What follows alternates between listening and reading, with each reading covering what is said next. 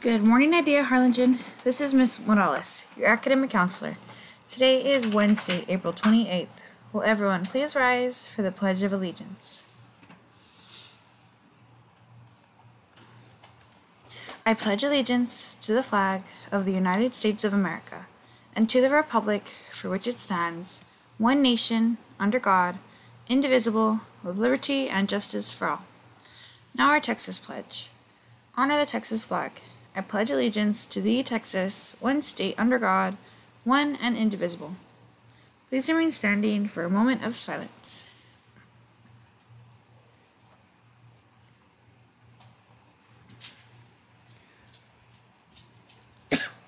Thank you. You may be seated. Today for breakfast, there's apple cinnamon oatmeal. For lunch, there's a teriyaki chicken bowl with rice bowl and edamame.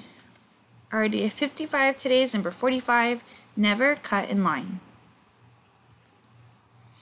Our mood meter word of the day is fulfilled.